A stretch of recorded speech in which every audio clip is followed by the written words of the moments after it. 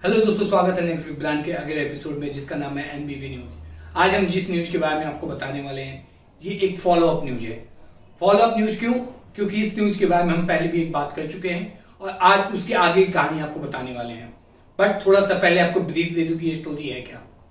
Cyrus मिस्त्री जिनको कि आप जानते हो कि टाटा के एक्स चेयरमैन रह चुके हैं ये, इसकी थोड़ा सा ब्रीफ में हम पहले चलते हैं, फिर मैं आपको आज की न्यूज़ बताऊँगा।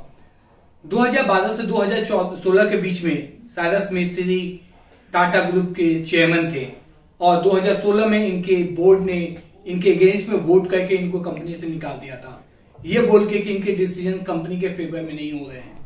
या फिर उनके डिसीज़न से कंपनी को फ़ायदा नहीं हो रहा है। तब साइरस मिस्त्री ने एनसीएलएटी में एक कंप्लेन फ़ाइल की थी और ये बोला था कि मुझे इस कंपनी से जो निकाला गया है वो आधिकारिक नहीं है या फिर लीगल नहीं है। अभी 2019 के दिसंबर में एक डिसीज़न आया एनसीएलटी का, जिसमें उसने बोला कि नहीं साइरस मिस्त्री को फिर से कंपनी का बोर्ड सीट मिलना चाहिए और उनको एग्जीक्यूटिव चेयरमैन की पोजीशन मिलनी चाहिए। और साइरस मिस्त्री सही थे। तो साइरस मिस्त्री ने एलसीएलटी की वो जीत के बाद कोई क्लेम नहीं किया बट टाटा ग्रुप ने फिर से इसके अगेंस्ट में जाकर सुप्रीम कोर्ट में एक केस फ़ाइल की, जिसमें एनसीएलटी के जो कंप्लेन डिसीज़न था, उसको चैलेंज किया और ये बोला कि नहीं एनसीएलटी का जो डिसीज़न है, हम उसको सुप्रीम कोर्ट में चैलेंज करते हैं।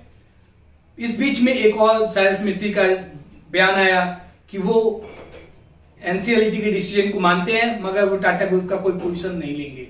मगर आज के जो डिसीज़न है, उसके बारे में मैं आपको बताना चाहता हूँ, जो आज न्यूज़ आई है।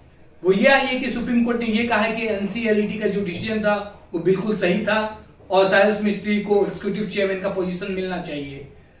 मैं आपको एक चीज़ बताना चाहूँ कि साइरस मिस्त्री की जो कहानी चलती आ रही है, ये 2016 से चलती आ रही है।